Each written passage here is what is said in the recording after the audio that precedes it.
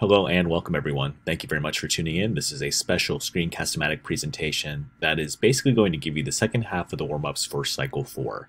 So please listen carefully as these are the questions of the day for the particular lessons that you are completing, both in class and or on your own. So here's the question, and then comes the corresponding answer. For Monday and Tuesday, what are some important but noteworthy facts about the amendments, numbers 4 through 8, also known as the rights of the accused? In other words, what are some basic rights and principles that are vested to you as a citizen with Amendments 4 through 8? Let's go ahead and look at some of these things right now. So first and foremost, the Fourth Amendment is about no unreasonable searches and or seizures by law enforcement. This is really important when it comes to, of course, personal protection of your property, your home, and yourself. The Fifth Amendment deals with the due process of law, where every single person is guaranteed in this country due process. You cannot be tried for the same crime twice, which is double jeopardy, and you cannot be forced to testify against yourself, which is called self incrimination.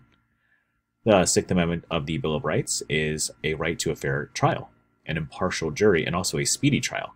Uh, in other words, that there is an, a rate that you have to move at as far as legal system is concerned with hearing your case, and you can't just be thrown in jail for a prolonged period of time.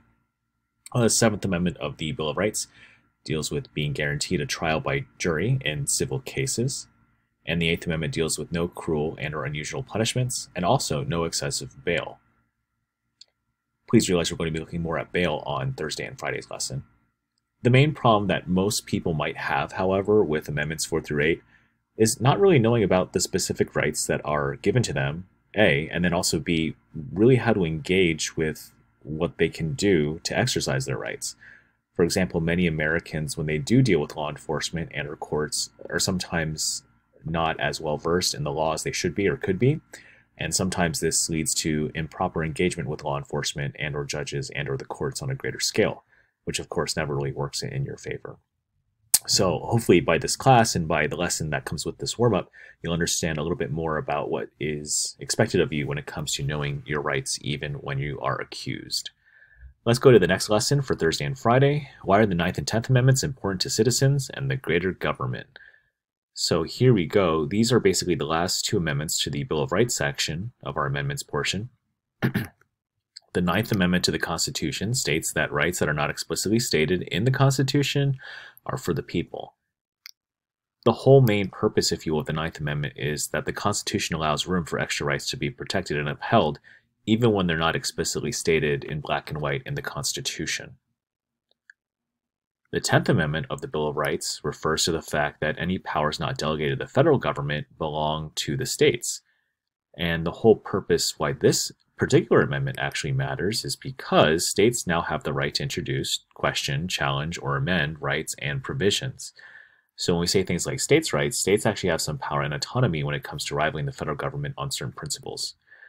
Now, a big problem of these amendments is that there's ongoing debates about the legitimacy of future amendments and government practices as they exist right now. So, for example, when we look at the Ninth Amendment, there's many Americans who are saying that you know they feel like certain other amendments and provisions should be part of the Constitution. And as you're aware, to be part of the Constitution, you have to go through the amendment process. And so many people are quite cynical of some of the other amendments that are in the Constitution, and we'll talk about that later when we get to them. Another big problem with the 10th Amendment specifically is that there's different practices that have been established by states that differ from state to state, but also differ and are sometimes are in conflict between state and the federal government.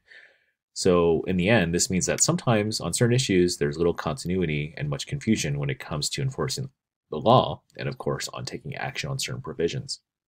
We're going to be looking specifically at things like healthcare and marijuana when it comes to state versus federal government and who wins and who supersedes the other person in that, in that way. So there you guys have it. Those are the warm-ups and the questions of the day for the particular lessons that I had mentioned there to you. If you need to, you can replay any part of this presentation for help and clarity. Remember to submit your warm-up template by the deadline specified in Google Classroom. Thank you very much for tuning in.